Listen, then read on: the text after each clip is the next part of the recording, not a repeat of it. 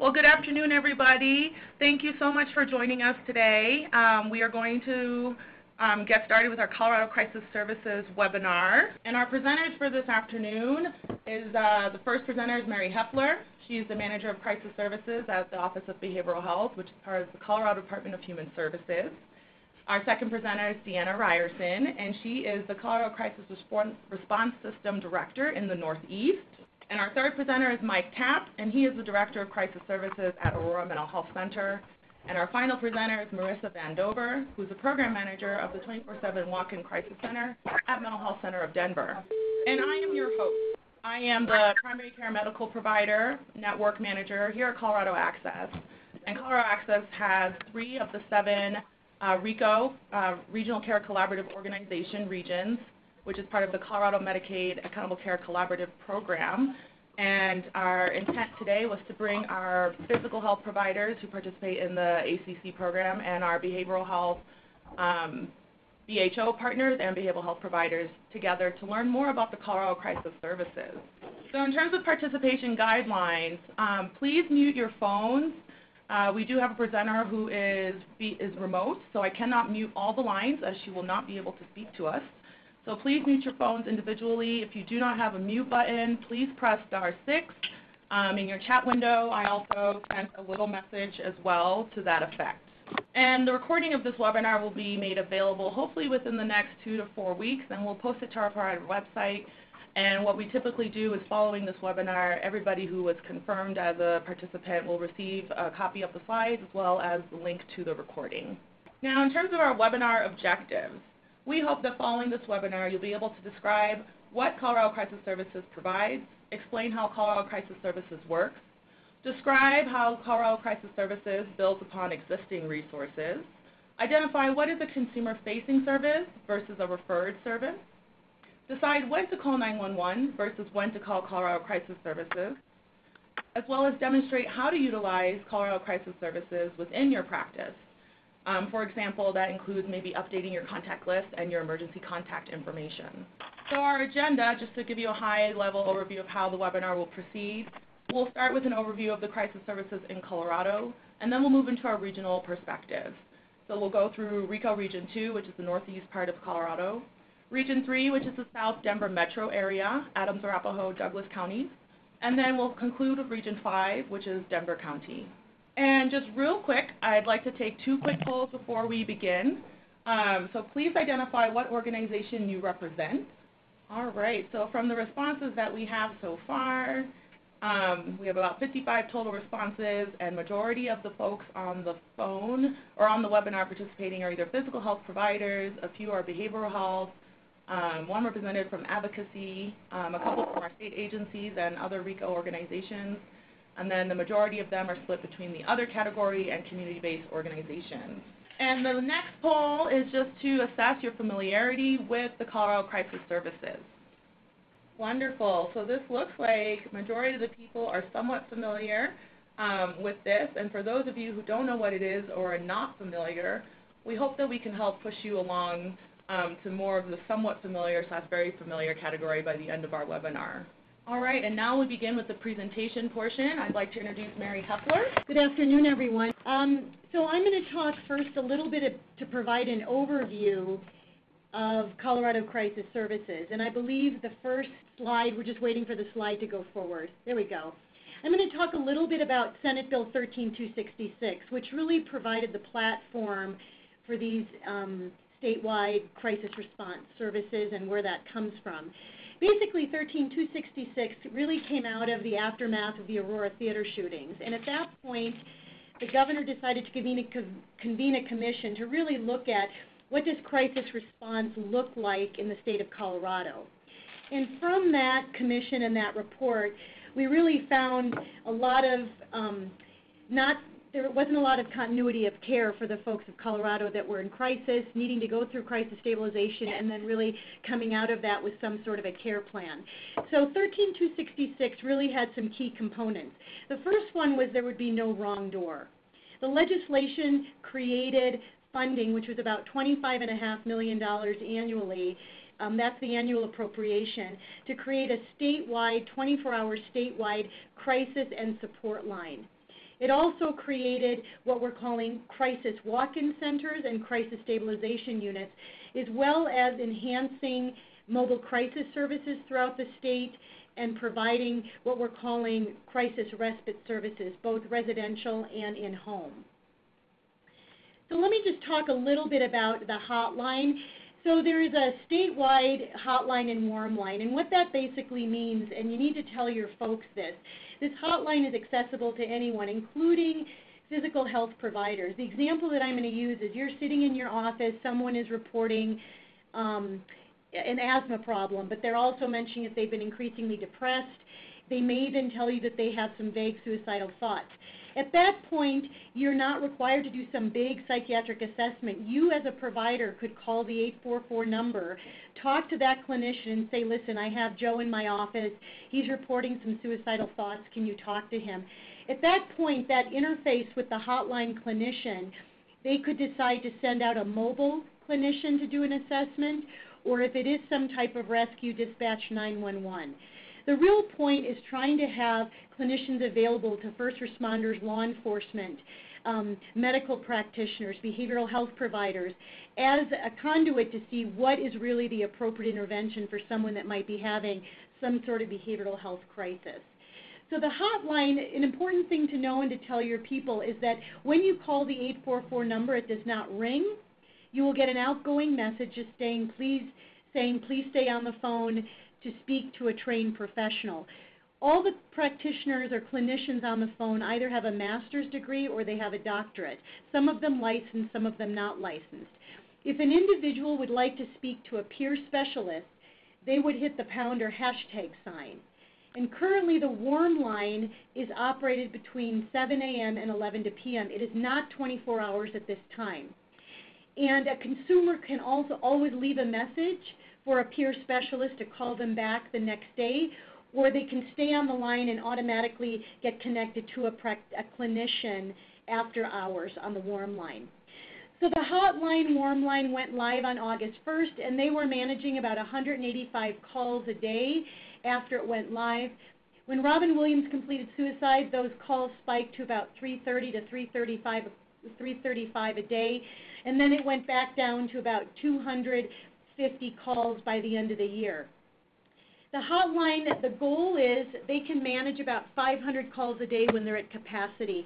And the goal was to have 30% of those calls managed by peer specialists, and they have met that goal. So when you're looking at data that's coming out of the hotline, 30% of callers are going right over to the peer specialist, and that is a wonderful thing.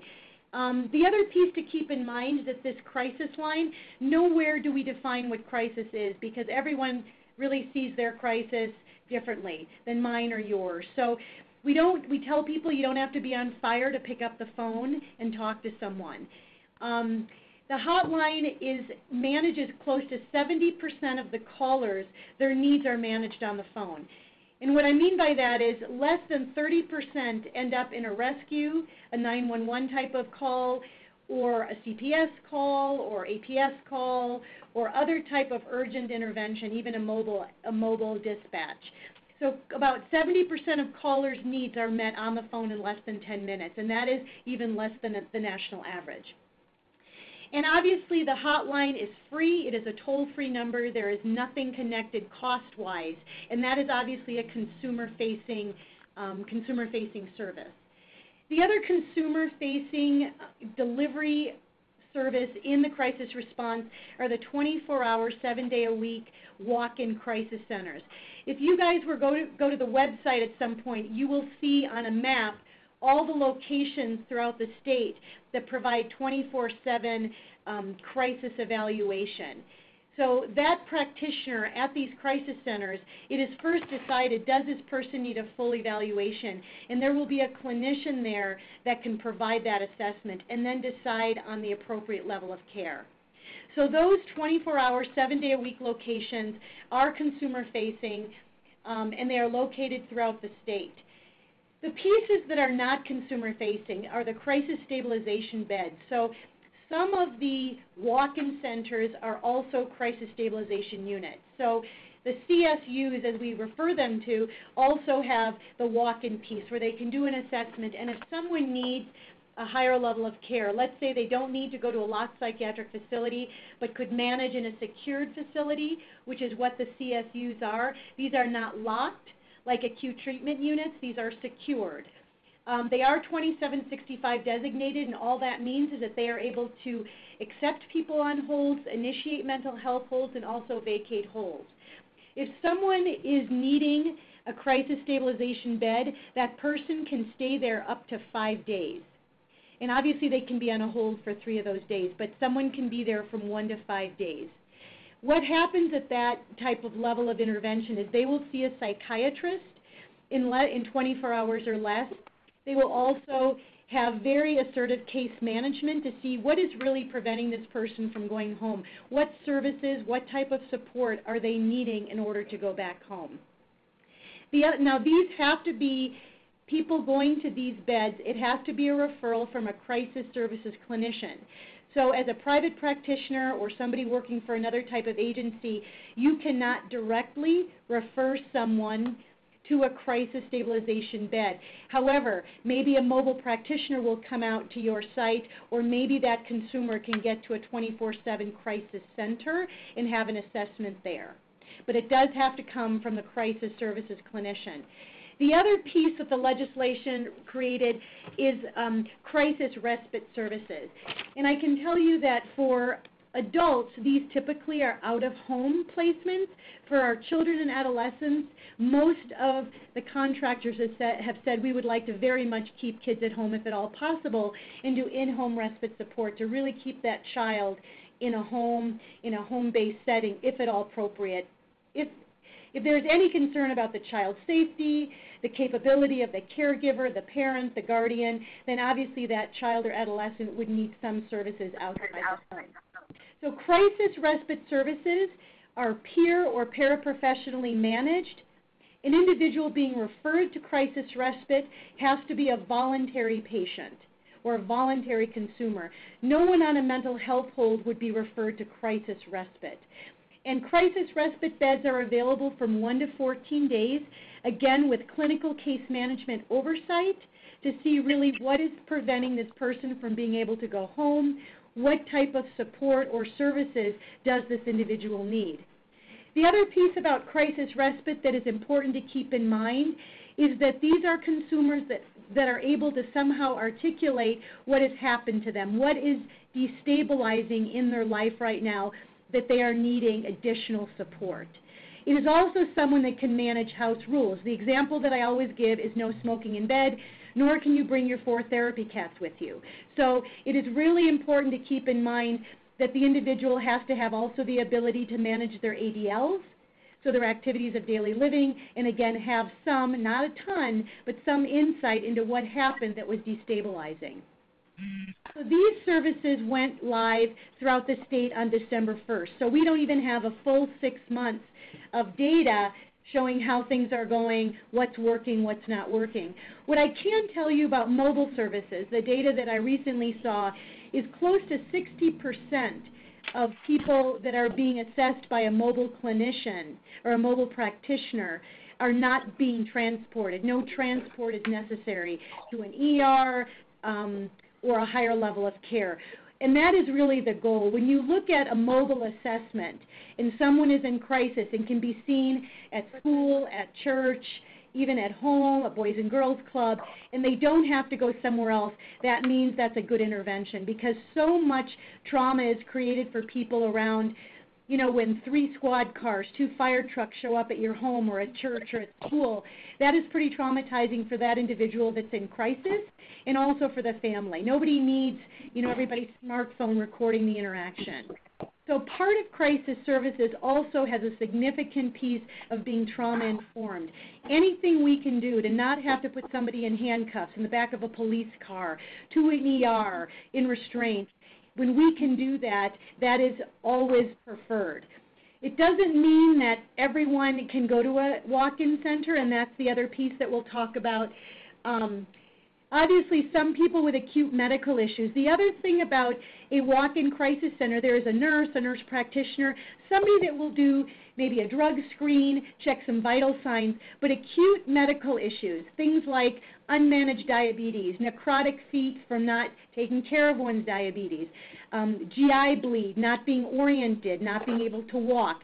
Those are all conditions that likely most definitely will need to go to an emergency department to see what is going on. Does this person have a closed head injury? Is this person's glucose 500? Why don't they know who they are, where, where they are, or what's going on? And those are some benchmarks that we talk to law enforcement about. Because again, the old culture is you call 911, someone gets put on a hold, and you go to the ER this system is really the hope is that down the road that it takes some burden out of the emergency departments for people that don't have acute medical issues. Now, if someone is combative, uncooperative, not in behavioral control, that person also is not going to be appropriate for a CSU or a walk-in center. Again, the, the walk-in centers typically are um, mental health centers. These are not secured facilities with restraint and seclusion. Crisis stabilization units are secured but not locked. So it's really important to, to figure out what type of milieu and what level of care is going to meet the consumer's needs. Um, again, our website is a very user-friendly website. I'd encourage all of you to go to that. But again, when in doubt, just call the number. It is, a, it is one long, simple page that basically tells people if you're not really sure, just call. So those, those phone folks should be able to direct a consumer, a family member, um, a nurse practitioner, you know, a physician in the community that's dealing with someone, typically when the response would be, oh my God, you said you have suicidal thoughts, we're going to call 911. If that person is able to sit in your office or be with you, call the 844 number and see if they can dispatch a mobile practitioner or if it truly is a 911 thing. Um, is there another slide? Time for questions. Oh, I guess, you know, I spoke very fast. Are there any questions specifically related to the hotline or the other services? Are there mobile services statewide?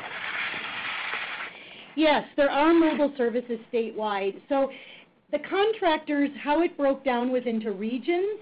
So the Denver metro area, everywhere from sort of Douglas, you know, includes Boulder, Adams County, and kind of the in between.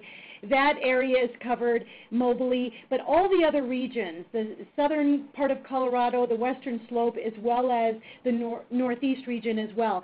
So yes, mobile can be dispatched throughout the state. And what I can tell you is that in an urban area, the mobile response is one hour or less, and in rural and more frontier areas, it is two hours or less. And again, we're trying to educate people about what really is 911 and when maybe is more of a mobile outreach more appropriate. So yes, it is available statewide. And again, these services have gone statewide in less, for less than six months. So we know there's going to be a lot of hiccups and what I tell people is that please email me, let me know if something has worked out well or if something failed completely because we need to follow up and kind of look at what do we need to do differently. Is there additional funding that would help reach mobile quicker or need more mobile practitioners? So yes, it is statewide, absolutely. And can you speak to the cost of services? Oh, good question. Yes. So as we know, nothing is free.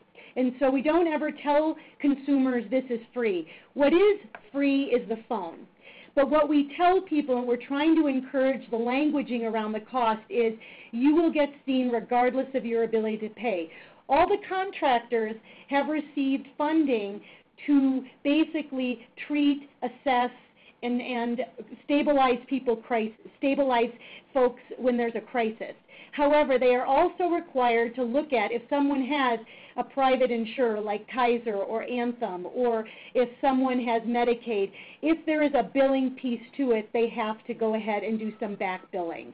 Um, the reason for that is, is the way the laws are written in the state of Colorado, there's no way to wipe out everybody's co-payments, whether it's $20 or $50.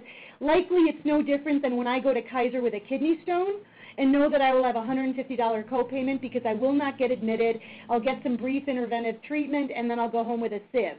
So again, those are all important things to tell people is that regardless of their ability to pay, they're not going to be billed for something. They're not going to be given a bill at the walk-in center or at the crisis stabilization unit or when a mobile practitioner comes. I know people have a lot of anxiety about utilizing services and being able to afford them. And one last question. Does the crisis services work directly with primary care providers to address the medical needs of individuals that show up. that show up? Yeah. So this is what I can tell you. Again, at every site, there's physician oversight. On site, you will have available nurses, nurse practitioners, PAs that will do brief histories, physicals. They are able to do some labs. They could do a Depakote level. They could do. They could check a thyroid level. And most locations can get those back within four hours.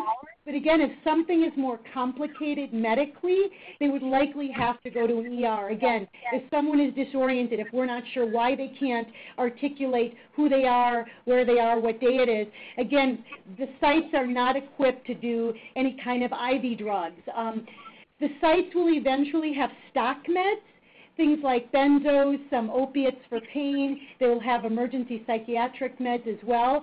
Some locations are still struggling with getting stock meds because depending on the license that they have through the health department, they've had to work with the board of pharmacy.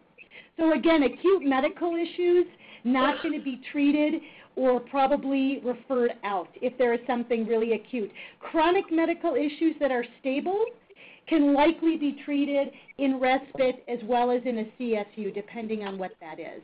The other piece I want to kind of make a point of is that the primary diagnosis is not the driving force for admission to a crisis bed or to a respite bed. These practitioners really start, it's a cultural shift because they have to look at what is the presentation. So if I'm a chronic marijuana user who has Medicaid, but I'm having a full on panic attack, I can't pull it together, I can get referred to respite, I can get referred to a CSU bed. It doesn't matter that my primary diagnosis is marijuana abuse or marijuana dependence. So again, they can treat people with IDDD issues, somebody with a TBI. There's not automatic exclusionary criteria just because someone has a medical diagnosis or someone has a history of TBI. It really is about what is the person's presentation, what is their level of functioning, and what level of care or intervention are they needing. Okay, and one last question, um, just out of time concerns, so we can get to the upcoming segments. But um, can you speak to availability of beds? Yes. So um, the locations in the states that are that are crisis stabilization units can have up to 16 beds. Some of them are managing 12 beds right now because of staffing, some staffing issues, but they cannot have over 16 beds because that throws their license into like the whole institution category. We also, in the Denver metro area, have two CSUs specific to child, to children and adolescents. And honestly, um, I have not heard that they've had to turn people away because, again, if one location in a region is full, they can refer someone to a crisis stabilization bed somewhere else. So, for example, if I show up in Aurora and they're they're at capacity, but the consumer needs a crisis stabilization bed. They don't need locked-in inpatient. They don't need an ATU. They're not quite appropriate for respite. They could call one of the other locations in their region. So in Littleton or in Westminster or in Lakewood um, to see if there's a bed available. So, thank you. Awesome. Thank you, Mary. And now we will transition to the perspective in the Northeast. Deanna Ryerson will be presenting. Okay, hoping everybody can hear me. Um, thank you so much, Mary, for the nice overview of our system and our services. Um, if we can go to the next slide. I'd like to talk about how this affects the Northeast region primarily. So the program launched as a statewide initiative on December 1st, 2014. What that did is tie together existing resources in the region to the statewide initiative and build upon and enhance existing services. So the Northeast region, there's, the state is actually divided into about four regions, and the Northeast is comprised of the RCCO Region 2, which um, includes, whoops, where's my slide? it includes all of the Cheyenne, Kit Carson, Lincoln, Logan, Morgan, Phillips, Sedgwick, Washington, Weld, and Yuma counties, as well as Elbert and, and Larimer County. So that is the Northeast Crisis Response Region. And the services are actually primarily provided by the three community mental health centers that cover that area. So North Range Behavioral Health, Centennial Mental Health Center, and Touchstone Health Partners are the primary providers. One of the services, as Mary alluded to, is assessment and triage. So uh, some of these centers offered walk-in crisis support prior to December 1st. However, not many of them offered services 24-7 or 365 days a year. With the state funding, we now have that uh, increased availability to offer crisis assessment and triage 24-7. The two walk-in centers are located for the Northeast region in Greeley and Fort Collins, and those are, again are open all day, every day. And then we have six mobile teams that actually serve the entire 12-county region. Um, the mobile response does go into any county in our area and crosses the state um, wherever people need to be seen. In addition to that, Centennial Mental Health Center offices are open during business hours for any walk-in traffic for crisis assessment and triage. Assessment and triage services does include a full evaluation by a qualified and, ma and master's level mental health clinician who helps assess the crisis situation and determine next steps. Many situations are possible to resolve on scene or in the moment, so in addition to that assessment, you're also getting a clinician to help diffuse the situation, de-escalate the client or family, offer a safety plan, and intervene with the crisis um, with trained techniques to help diffuse the situation and help the client or family stabilize. If higher level placement or referral to community-based services is needed, that is also offered at that time. So the services by referral after that evaluation, if someone needs a higher level care placement, um, we do have two new respite facilities, and again that's staffed by paraprofessionals or peer support specialists and case managers, as well as administrative oversight.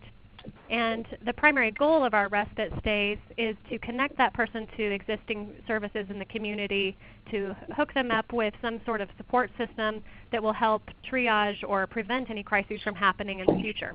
So the two new respite facilities, one is in Greeley and one is in Sterling, and they have a total bed capacity for 16 beds. Again, the stay for respite episode is from 1 to 14 days.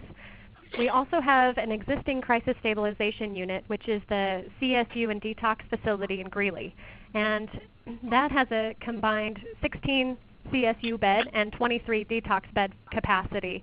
Um, and so that facility has already been in existence prior to December 1st and continues to serve clients through this crisis response system. In addition to that, we will have a new crisis stabilization unit opening in the summer of 2015 in Fort Collins, and that is projected to have a 10-bed capacity at that CSU level. In addition to these 24-hour care services, we have added with the state funding some more transportation resources.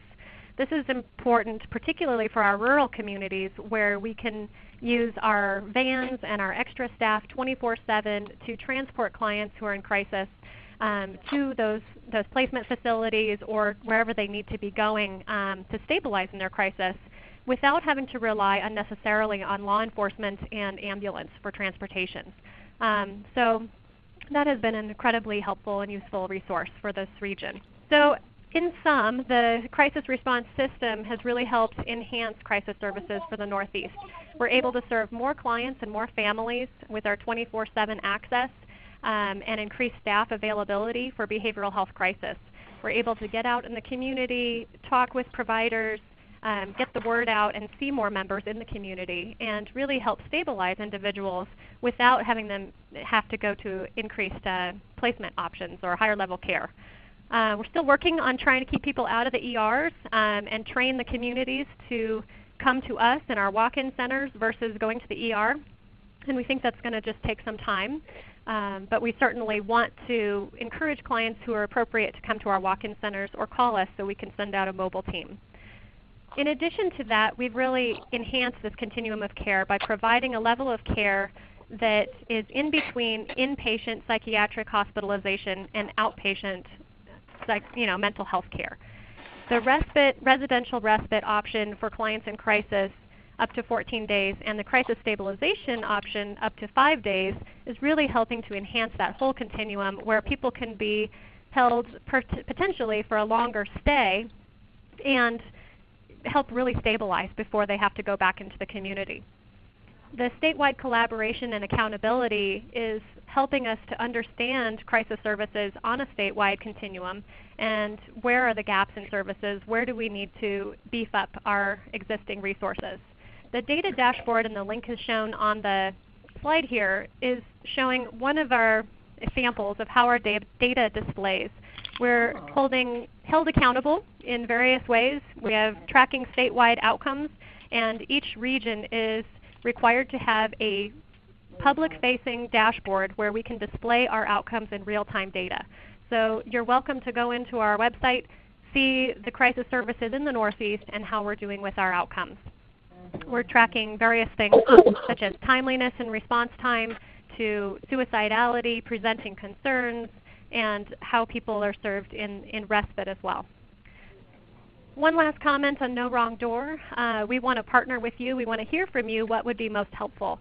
So we have certain marketing materials to help get the word out. We would love to have you put them in your lobbies, uh, give them to clients, give them our phone number, and contact us for a tour.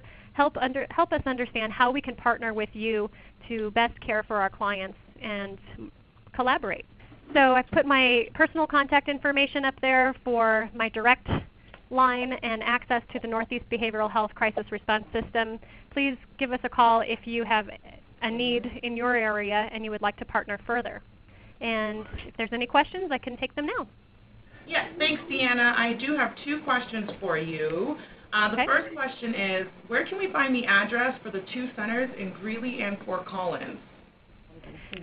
If you if you click on the link in, in our dashboard, it's actually on the home page there, but I can give it to you now as well. Can we also talk about the Colorado Crisis Services main webpage as well? Colorado Crisis website that Mary put up earlier shows the walk-in addresses for the whole state. And so you can find the walk-in center that's most closest to you or your client on that website. In addition, we have just the Northeast section displayed on our website and our two walk-in center addresses are listed there. So the one in, in Fort Collins um, is on 525 West Oak Street at the Touchstone Mental Health Center office. And that will be moving to Riverside once that opens in the summer. And the one in Greeley is located at 928 12th Street. And that is um, both on our website at the northeastbhs.org website. Excellent. Thanks, Deanna. And the second question is, well, it's half a comment, half a question. So it's difficult uh -huh. to imagine what type of clients meet the criteria. Can you give an example? It seems as if you have to be somewhat pretty stable, but not stable enough. Um, so what kind of criteria is best for our walk-in or mobile crisis response and starting the, the system there? So I think Mary made a great point. If you don't know where to turn, call our, our statewide hotline. That's a great resource to start. Um, if a client is depressed and having some suicidal thoughts or vague um, ideation possibly means or, or a plan, but you're not sure exactly where they're headed with this and you would like some trained clinical eyes on that, then give us a call. Call the statewide hotline, call us. Um, we certainly would rather have you err on the side of caution and contact us and talk to us about the situation so that we can help you walk through the next steps. Um, clients who are most appropriate for walk-in I think need to be somewhat medically stable and that's the distinction I would make there. Um, and psychiatrically they can be all over the map. We've had people who have a manic episode, bipolar, depressed, psychotic, um, people who are I think aggressive and active, acting out, out of behavioral control um, unable to um, manage themselves would have to still go to the ED. But short of that, if someone is depressed, anxious, um, having a panic attack, those are all clients that would be appropriate for our walk-in or mobile response. We're, we're really trying to have a regional approach to this and a statewide approach really to crisis. So if you contact someone with Rocky Mountain Crisis Partners at that statewide hotline, they have my number and my contact information. You can still get in touch with me through them. Um, really, there's no wrong door. If you contact the hotline, if you call us, you walk into one of the provider's offices and you need our crisis materials, they all should be well stocked with our crisis materials and our phone numbers. Um, again, no wrong door. Contact the Community Mental Health Center in your area, contact me, the hotline, we'll, we'll get you set up with what you need. Now, I do have a private practice, and sometimes I go out of state. Can I, um, on my voicemail, can I tell my patients to, if they're in need of emergency, that we can, I can give their phone, your phone number to them? Deanna, can I answer that? and- Can, can I answer yeah, that really I'll, quickly? Go for it. And I was going to say we also have addressed that issue as a region, so I'll probably tag on to what Mary says. Go ahead. Yeah, so we are going to try to even reach out to DORA to see if people can put the statewide crisis line on their outgoing voicemail instead of the standard, please call 911 or go to your nearest emergency room. Because honestly, you just need to provide something. As a private practitioner, telling someone to go to the ER isn't any more CYA than saying call 844-893-TALK. So absolutely leave that number on the outgoing message if you're a private practitioner. That's a great, thank you for bringing that up. De- Deanna, go ahead. I was gonna, and uh, let me just piggyback onto that because we have talked about that as a region, and you know certainly it doesn't um, take you off the hook, if you will, if you're a private practitioner for developing a good safety net backup plan for clients when you're Mhm. out of the area. I think per DORA and your licensing agreement, you you would want to make sure that you have a good backup plan for any clients should you be out of the area. And Mhm. our our crisis line and our services are are no more than like the, the 911 scenario or the ED in that situation. You would still need to take care of your clients and make sure that you're developing a good plan in that event. However, we want to make sure that you also have our phone number instead of 911 or in, in addition to 911 when that crisis is a behavioral health crisis in nature and not a medical emergency. Mm-hmm. Thank you, Deanna. Um, let's move on to Mike's section. Um, and for those of you who had questions in that segment that didn't entirely get answered, you are free to email me directly with those questions. We will be compiling a question and answer list that will also accompany the slides and the link to the recording following today's webinar.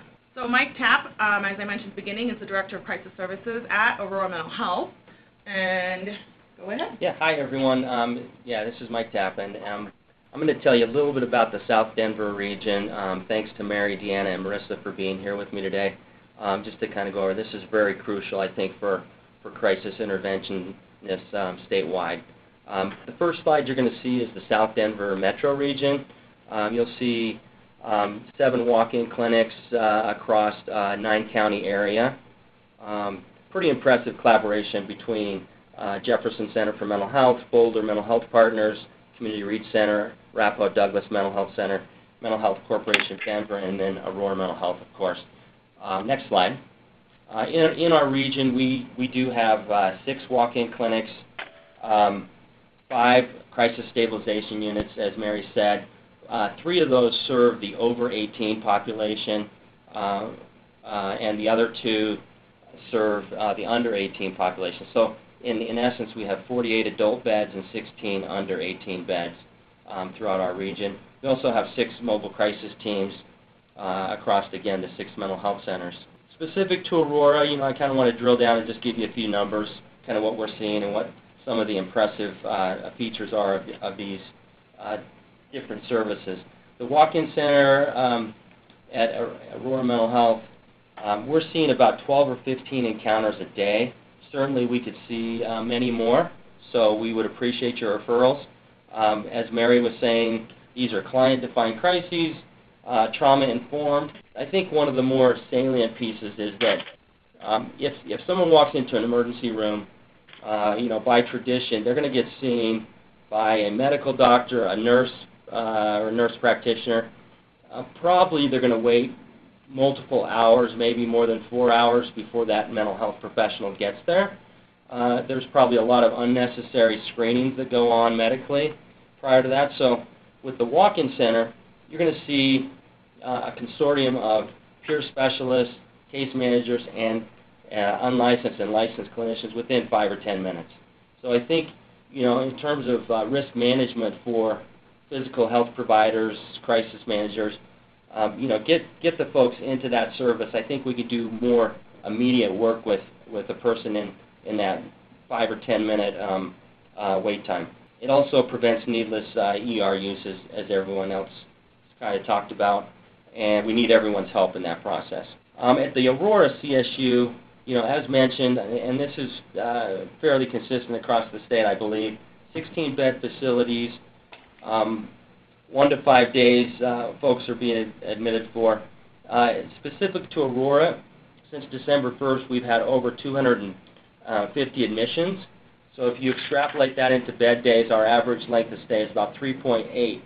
You know, that's that's uh, way over a thousand bed days that we've that we've at least managed, um, you know, at the community um, uh, clinic license, which I think is pretty impressive. Uh, certainly, we we can do a lot more. Our census in Aurora has has uh, pretty much stabilized between eight and ten persons a day. We have 16 beds, so um, you know, in you know, in relationship with the other two crisis stabilization units in the region, you know, I think that we can we can take all comers at this point, um, you know, for that appropriate uh, client. Uh, last thing I want to say is, uh, you know, Aurora, of course, we have a mobile crisis team. Um, one thing that I think is impressive about mobile crisis teams across the state is that we meet clients in the best and least restrictive location. Think about this. Um, you know, we can go to residences, we can go to churches, schools, uh, you know, business locations, or even just uh, you know common common locations in the community that we're called to. These, again, like Mary was saying, these are trauma-informed uh, interventions. If the police um, and fire and, and first responders don't need to be there, we don't take them out with us. If we feel like there's some kind of escalation that needs to be covered, we'll still send a mobile crisis clinician out to your location or the clinic, uh, location we know about. I think that's uh, briefly what I wanted to get to. You know, there's been an alarming increase in the last three more, three or four months in terms of ER visits. I think that that might be a marketing piece, but you know, we really need um, providers' help in getting folks to the golden funnel, is what I call it, and that's uh, getting people who are in a behavioral health crisis uh, to an immediate resource, which is our walk-in clinics and our mobile crisis teams. Any questions, I'd, I'd feel free to fill them. We'll turn the time over to Marissa, and we'll go from there. Yeah, so we'll pause on the questions for now and use the last seven minutes for the Denver piece, and then at the end, for those who have time, we can field um, those questions then. Marissa? Okay, thank you, Mike. I am Marissa Vandover, and I'm the program manager of the Denver Walk-In Center. Um, in Denver, we have four components of the Colorado Crisis Services, including um, the hotline, like everybody else, and um, we have mobile crisis, the walk-in center, and respite beds. Um, as you can see in that slide, there's two pictures of the walk-in center. We're currently serving clients of all ages. We're equipped to deal with um, infants to elderly who are walking in the doors. We are also working with MHCD consumers and members of the general community. I've had a few people say, well, I didn't think somebody could come there unless they were part of MHCD. So Mental Health Center of Denver is operating this clinic, but it is open to the general public. Um, it's open 24 hours a day, seven days a week, providing immediate care, connections to ongoing mental health treatment, and referrals to resources in the community.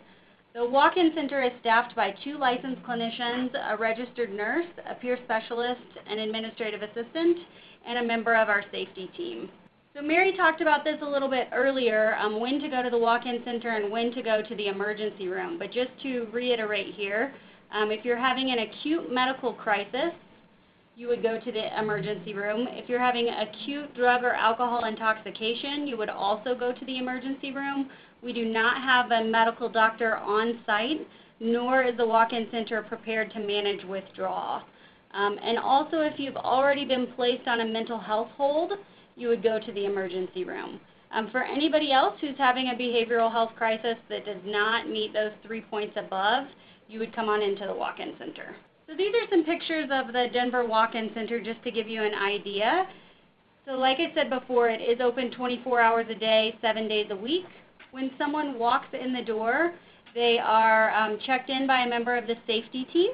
And that first picture there is a picture of our lobby. Then the client is brought back um, and checked in with the nurse for vitals and a basic health history before they're brought to a private room where they can relax and meet with a clinician.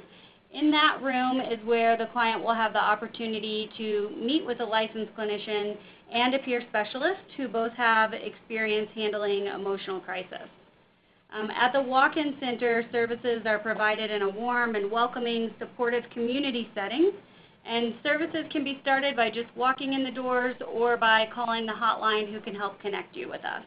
So what happens next? Um, after a person leaves the walk-in center, they may just return to the community. The person may be feeling better. A referral may be made um, to follow-up services into the community. A client may also be referred to respite, or they could be referred to an out-of-county crisis stabilization unit. So Denver doesn't have crisis stabilization unit beds within the county, but they are partnered with the other metro area organizations where they can access the crisis stabilization unit beds. And at times we do have to transfer somebody from the walk-in center to an emergency department, either on a hold or on a voluntary basis if they need um, that level of care or um, medical care at that time. Another component of this system is respite care. So in Denver County, the respite beds are located at Park Place. So this is for a person who needs a little bit longer to stabilize. Um, where they may, you know, be at the WIC for a few hours, the walk-in center for a few hours, and then may need to be at a place for up to seven days. Um, this could be for people who are MHCD consumers or um, members of the community. And during that time, if a person is not connected to services, an intake can be done for mental health treatment um, at the Mental Health Center of Denver for ongoing care. Questions? So I did get a couple questions. Can you speak to the functions of a peer specialist? Identify who is a peer. Sure. So a peer specialist, and anybody jump in here if you have something to say that would add. Um, a peer specialist is a person with lived experience. So the function of our peer specialist in the walk-in center, well, really they do, they do a lot of things. But one thing that they can do that a clinician can't do is is to walk in and tell somebody, you know, hey, I, I've been where you've where you've been. I've experienced this. Um, here's the resources that really helped me. So we look at them um, as sort of experts in the field from their experience, in addition to being experts on community resources that they can help provide clients with that come in. Yeah, and this is Mike. I would add to that. Um, so in Aurora, um, what we did is a couple years back, uh, in anticipation of, of some of these new programs, uh, we developed a peer university. And so our first cycle was uh, about 30 individuals who went through a 10-month training process where they they had seminar and supervision and training modules, everything from how to have effective boundaries, um, ethics of, of client care, charting, documentation, um, and just you know all those all those things that come up for uh, providers that that either enhance or um, limit care. Um, so statewide, I know there's other modules for peer specialists, and and even at the um, state level, they've talked about clinical peer specialty, what that would look like to take it to a new level. These um, the folks that we have had on our crisis teams for the last two and a half years, uh, very seasoned. We've used them in terms of someone who's waiting in an emergency room to, to go and, and do some uh, visits and conversation and, and normalize um, the process as best as we could. So they're used in the walk-in clinics as well as sometimes the, the, the first responder, um, you know, and, and can really help with de-escalation and, and, you know, getting someone in, into that right moment where, where a clinical assessment can, can start to ma- mature. Excellent, thank you. And then the next question is, are there multilingual, bilingual um, counselors available at the crisis center? So there are. At times we do have to um, call for an interpreter or um, we might have to utilize the language line, but we are equipped to be ready to help people speaking any language, um, including sign language. Same, same for Aurora. We, we do have some on-site um, Spanish-speaking providers in our in our walk-in center center and our mobile crisis team. So, you know, every every way we're trying to uh, enhance that service, um, we're doing it as possible. And this is Deanna. I would say the same is true for our region and our walk-in centers, that we have some bilingual or trained providers with different languages, um, but we may also have to access the language line or an interpreter. Um, and we utilize peers much in the same way. And in fact, I would say that some of the respite facility stays and our client feedback is that the peers have made um, a very strong impact on some of the members staying there, and they've you know really helped in helping stabilize the situation as well as connect to resources and provide that motivation for someone who's really at that balance point of whether they're going to relapse or not. And motivating them to keep going. So it's been a, a tremendous asset to our program. Um, one last comment before we finish the webinar. I know we're running out of time here about how to use Colorado Crisis Services in your practice. Um, we want to have help spreading the word, if you will, and make sure that you get our signage, our cards, um, the Colorado Crisis phone number out there in your lobbies and offer the phone numbers to clients and people that you work with in your community. As um, I think we said, it's open to anyone in need.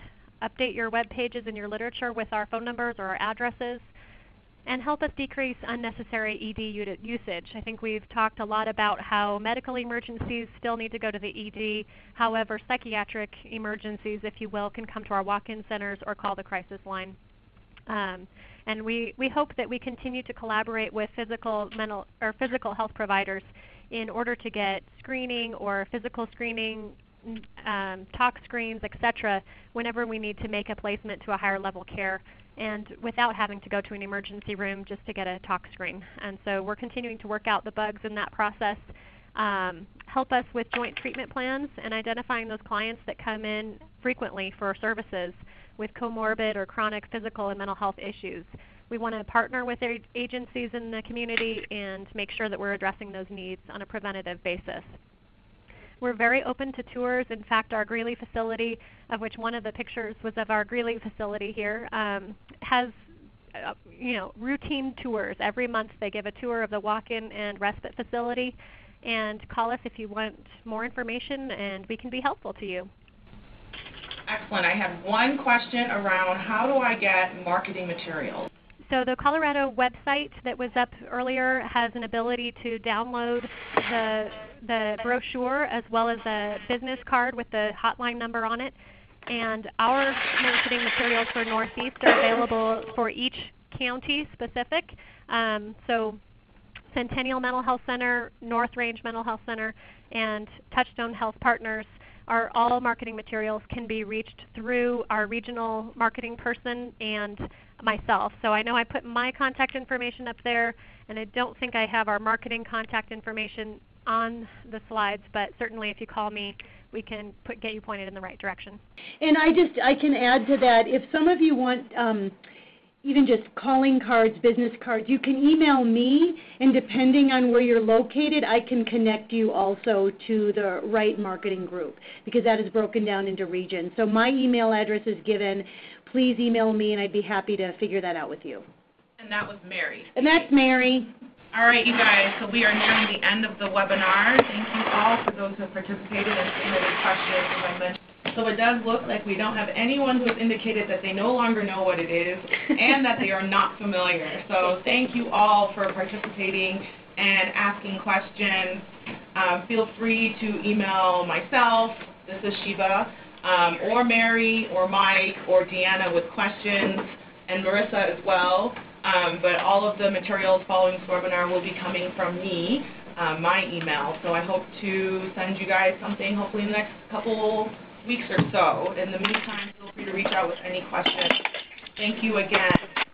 Bye, everybody.